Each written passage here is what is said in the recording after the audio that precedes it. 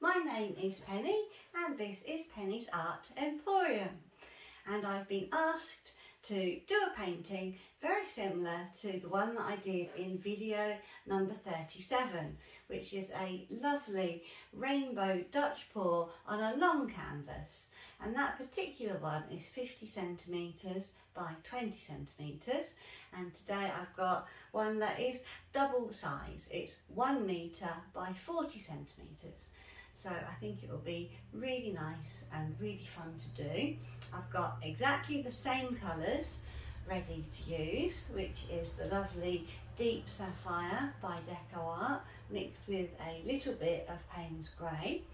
I've got this beautiful aquamarine as well, blue topaz, the wonderful 24 karat gold and this lovely pink tourmaline. Uh, so I will mix up my white base, which I haven't done yet, and I will put my pins in my canvas and I will level it with my spirit level and uh, I'm quite excited about it. I think it should be really good fun to do and I'm hoping to get something similar to that one that I did before. So I will get started and mix up my white base and then uh, you'll be able to see the colours going down and when I blow that out with my hairdryer. So it should be quite exciting. So here I am mixing up my paint. It's all nice and freshly mixed, so it's a really nice consistency. And I'm just putting it into the centre of my canvas at the moment. Just making sure that there's plenty of paint there. And then I will move that all around with my hairdryer. I like to start in the centre because it makes it really neat and tidy. I try to work as cleanly as possible. So now I'm just gently pushing that paint with the hairdryer so that it evenly goes towards the edges with my nozzle paint facing in the direction that I want the paint to go and I keep my hand there just to try to stop the paint from going everywhere. I don't always succeed but it's working out really well and the paint is lovely and smooth and just the right consistency and now I'm just taking that paint so that it goes over the edges so that my edges are nice and neat and smooth and paying attention to the corners uh, it's very easy to miss the corners if you weren't paying attention just to make sure that they're covered nicely and I can make sure as well that there's no puddles of paint so it's all evenly coated all the way around. So just really moving that paint from the centre outwards to the edges.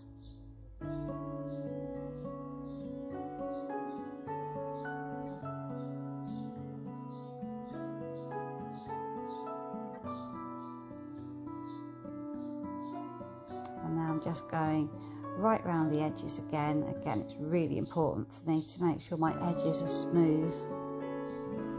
And I like to do that right from this stage. I like to get my edges smooth now rather than try to sort it out later.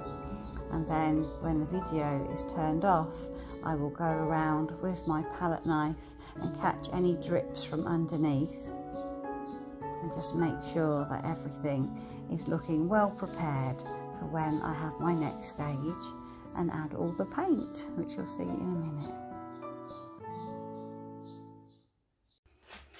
So as you can see, I've put my base on. It's quite a hot day today, so I want to work relatively quickly because I think the paint will dry quite quickly. The edges, I've made sure that they are lovely and smooth. Really important to me to make sure that my edges are done before I start the painting. And I will just measure about 20 centimetres there. just so I know where the centre is really.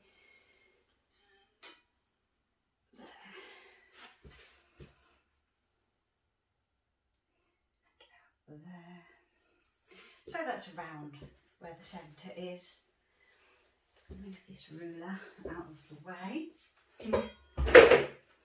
Now I know that uh, the camera is a little bit far away, but I think that it's going to have to be the best way to do it so that you can see all of it as it goes on.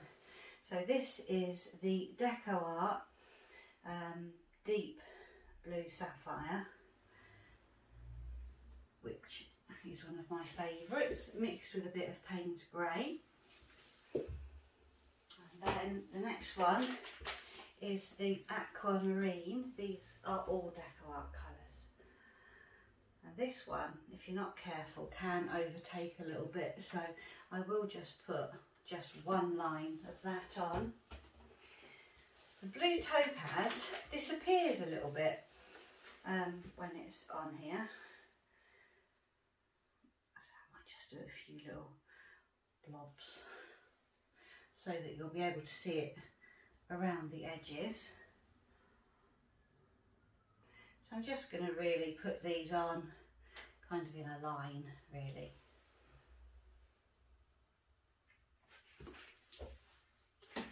And then my favourite 24 karat gold, which is always lovely. A few bits just in general. It doesn't matter if there's a lot of that because it is really nice.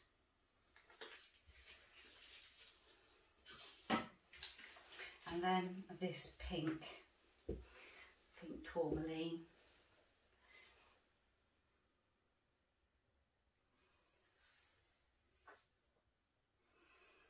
Have a few little bits so that it's kind of all over the place. And a few little dots.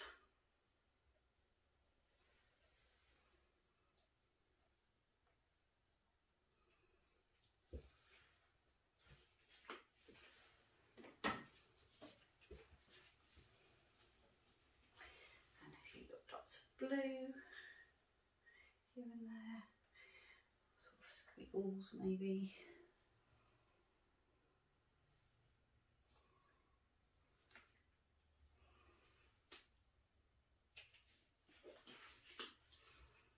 so the only one I'm not going to do lots of is the aquamarine because that is a very strong colour whereas certainly the blue the uh, blue topaz isn't such a strong colour.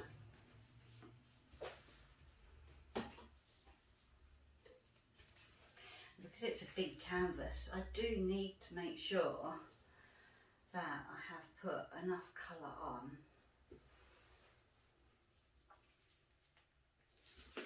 because once the white goes over it, it will just kind of make them a bit more kind of pastel and disappear.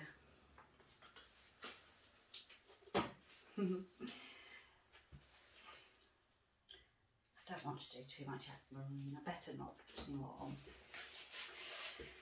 And this is the point where you think, well, is there enough colour? Is there a big enough variety? Always difficult to tell. I mean, there certainly looks like there is. she says. Oh, a little bit more pink.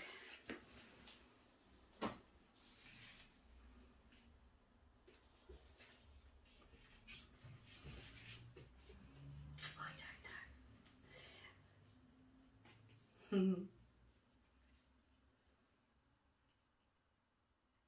Because the white will kind of eat it up a little bit especially the blue topaz.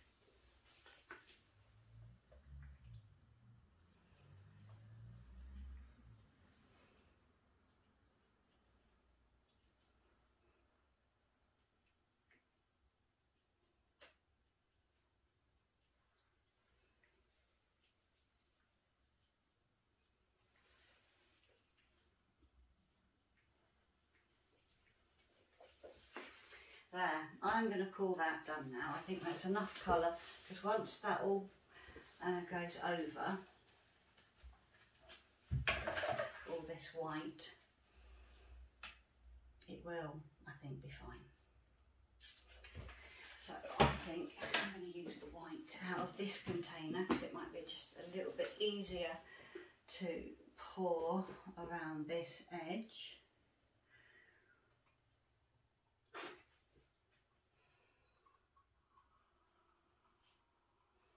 I'm using a lot of paint today because I do want it to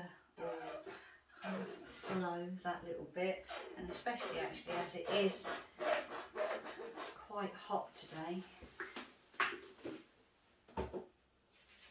Right.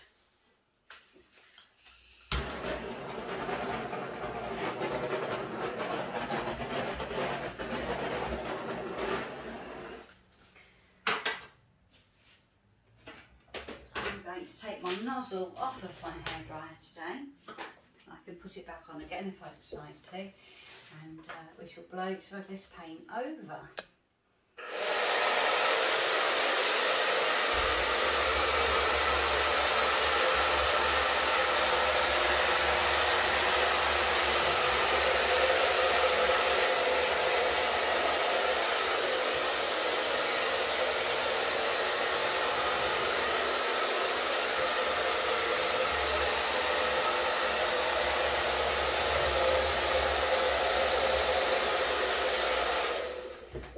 some areas I think could benefit from a little bit more paint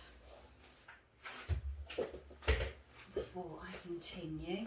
I think here seemed like it was not really flowing very much. Maybe here.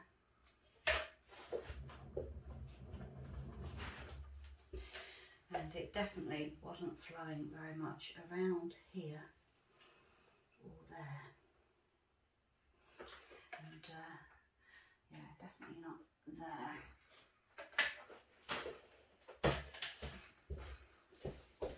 I just want it to all mix together and at the moment those little bits are a little bit stubborn.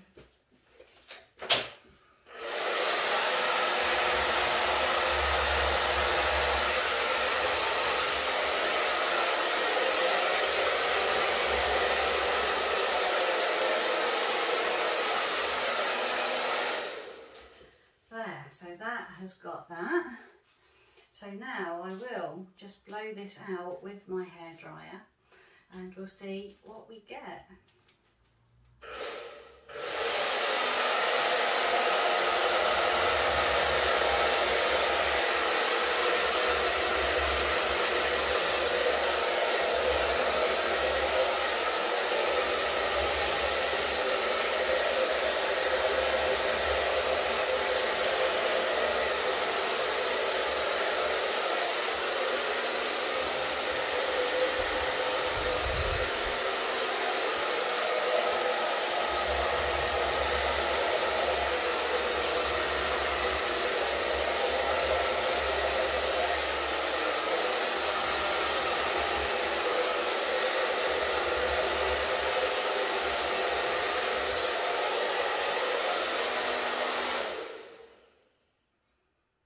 So now I just need to leave that to settle for a little bit.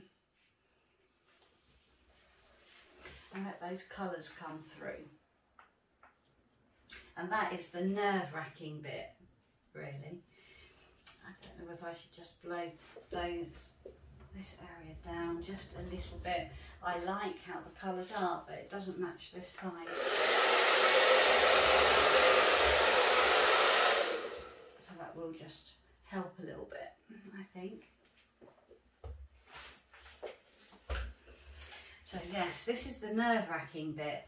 This is the bit where you don't know what you've got and you've got to wait to see. Just let those colours come through.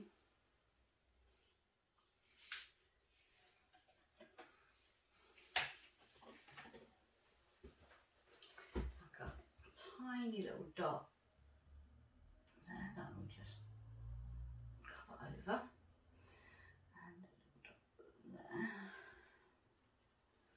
a little dot from that, that is looking pretty perfect actually.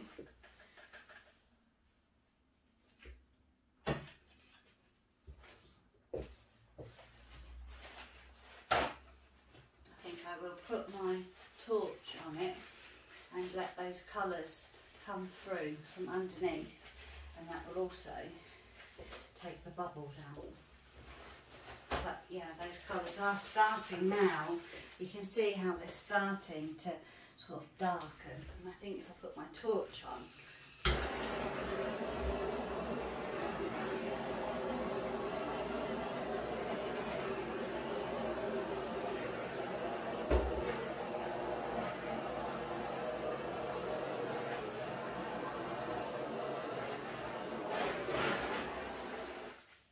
they will start to come through even more. But it's looking really nice. I am at the moment thinking that I don't think I need to alter that. I really like the design because this is pretty central. You've got these two bits that come off and then these two bits and they're nice and level and then those this is more concentrated in colour here, but I like that.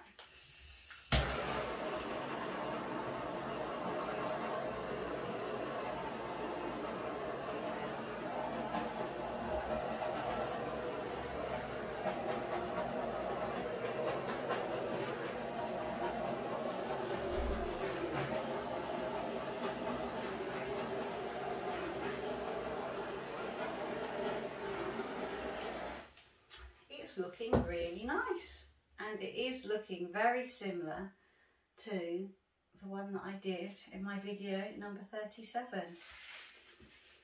It is looking lovely. So I'm going to let that settle for a little while and those colours will start to come through even more and then I will bring you down for a close-up and then you can really see how that is. So here is this painting. It's had a little while to settle, which is always really nice because those colours start to come out and all those little different coloured cells start to form and the edges are really pretty and defined. I haven't done anything else to it apart from make sure my edges are nice and neat and tidy and uh, put the torch on it just to take out any little bubbles and I've checked it all over and I'm really happy with it. I think it's really pretty. And when this dries, particularly the gold, it will be really shiny and really pretty. And the edges are lovely. Sometimes I need to alter the edges with my straw a little bit. Sometimes just to make the composition a little bit more symmetrical but this time I've just felt that I really like it as it is. I love the way all those colours have blended together. I love these little sections. And I just think it is lovely. All these lovely little bits. So I will let you see that when it dries. It's going to take a few days I'm just going to leave it in this room and just not look at it um, and let it dry. And uh, I'll let you see that in a few days. So bye for now. So here is this painting. I've brought it outside in the sun for you to see. It's had a good few days to dry because I didn't want it to be at all wet when I moved it and all these lovely little details that have come out. All those lovely rainbow of colours in the little cells there and the edges. And it has dried really nicely. That lovely centre there with quite a lot of gold and the aquamarine. And it is just looking really nice. I'm really happy with how it's turned out and I think the sun will catch all those lovely metallic colours which will come out even more over the next few weeks. It'll be about three weeks until I varnish this now. So I hope you enjoyed watching and I'll see you again next time. Bye bye.